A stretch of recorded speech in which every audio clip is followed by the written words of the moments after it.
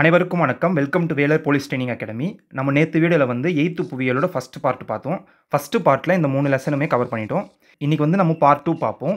Part டூவில் வந்து இந்த பேலன்ஸ் இருக்கிற அஞ்சு லெசன் இருந்தோம். முக்கியமான கொஷின்ஸ் எல்லாமே கவர் பண்ணுவோம். நீங்கள் ஒன்ஸ் ஸ்கூல் புக்கில் இந்த அஞ்சு லெசனுமே ரீட் பண்ணிவிட்டு உங்களால் ஃபுல் மார்க் வந்து எடுக்க முடியுதான்னு பாருங்கள் ஃபஸ்ட் கொஷின் இதுவே பாக்ஸ் கொஷின் தான். ஆயிரத்தி தொள்ளாயிரத்தி ஐம்பதில் உலகின் நகர்ப்புற மக்கள் தொகையின் சதவீதம் என்ன? ஆன்சர் ஆப்ஷன் பி முப்பது சதவீதம். செகண்ட் கொஷின் உலகில் அதிக மக்கள் தொகை கொண்ட நகரம் எது?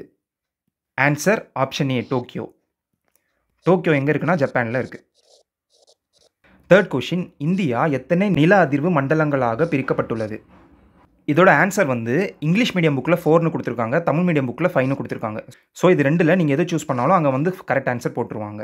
ஆனால் உண்மையாகவே நில அதிர்வு மண்டலம் வந்து மொத்தம் எவ்வளோ இருக்குன்னு கேட்டால் மொத்தம் வந்து அஞ்சு இருக்குது zone one zone two zone three zone four zone ஃபைவ்னு அஞ்சு இருக்குது ஆனால் கொஷினில் வந்து இந்தியாவில் மொத்தம் எவ்வளோ இருக்குன்னு கேட்டால் நாலு தான் இருக்குது ஜோன் ஒன் வந்து நம்ம இந்தியாவில் இல்லை.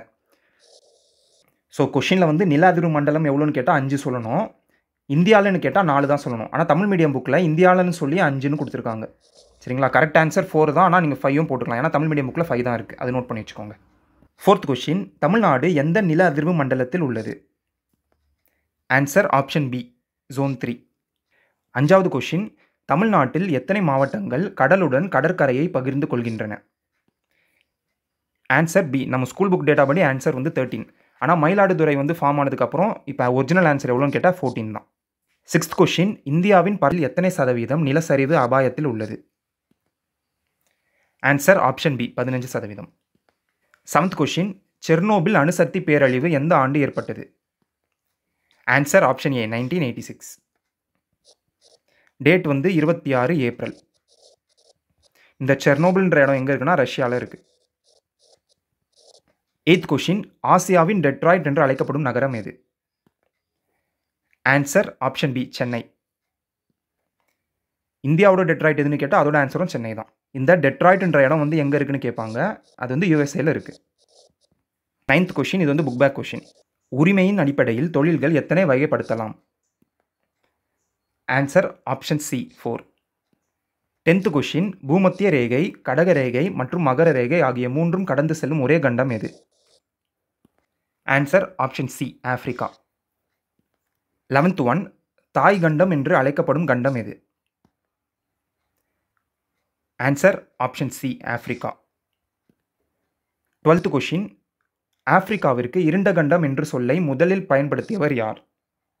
Answer option A Henry Stanley எந்த வருஷம் சொல்லியிருப்பார்னா eighteen seventy eight thirteenth question ஆப்பிரிக்காவில் எத்தனை நாடுகள் உள்ளன? ஆன்சர் ஆப்ஷன் டி ஐம்பத்தி நாலு. ஃபோர்டீன்த் கொஷின் உலகின் மிகப்பெரிய நன்னீர் ஏரி எது? ஆன்சர் சுப்பீரியர் ஏரி. இது எங்கே இருக்குன்னா யூஎஸ்ஏயில் இருக்குது அது அதுக்கப்புறம் உலகின் இரண்டாவது மிகப்பெரிய நன்னீர் ஏரி எதுன்னு கேட்டால் ஆன்சர் வந்து விக்டோரியா ஏரி. இது எங்கே இருக்குன்னா ஆஃப்ரிக்காவில் இருக்குது பதினஞ்சாவது கேள்வி ஆப்பிரிக்கா நதிகளின் தந்தை என்று அழைக்கப்படும் நதி எது? Answer option C Nile Nile தான் உலகத்திலே நீளமான நதி. அதோட லென்த் வந்து six six five zero kilometre பதினாறாவது கேள்வி தென்னாப்பிரிக்காவின் வாழ்வாதார நதி என்று அழைக்கப்படும் நதி எது? Answer option D Zambezi. இந்த சாம்பசி நதியில் தான் முக்கியமான ஒரு நீர்வீழ்ச்சி வந்து ஃபார்ம் ஆகுது. அது பேர் வந்து விக்டோரியா. பதினேழாவது கேள்வி புவியின் அணிகலன் என்று அழைக்கப்படும் காடு எது? இது வந்து box question answer option A வெப்பமண்டல மலைக்காடு.